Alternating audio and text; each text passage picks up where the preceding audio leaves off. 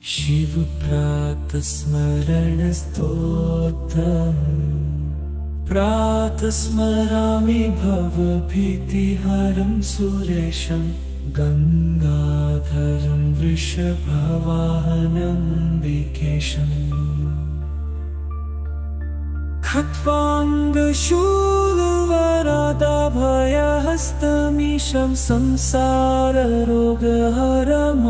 संसाररोगहरमौषधमद्वितीयम् प्रातनमामि गिरिशं गिरिजार्थदेहं सर्गस्थितिप्रलयकारणमादिदेवम् विश्वेश्वरं विजितविश्वमनोभुभिरामं संसाररोगहरमौषधमद्वितीयम्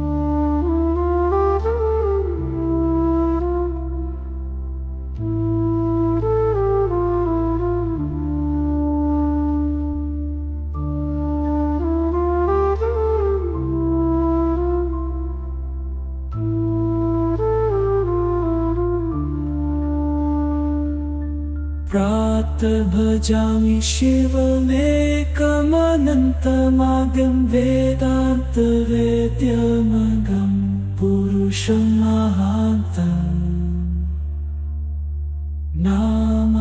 नामादिभेदरहितं षण्भावशून्यं संसाररोगहरमौषधमद्वितीयम्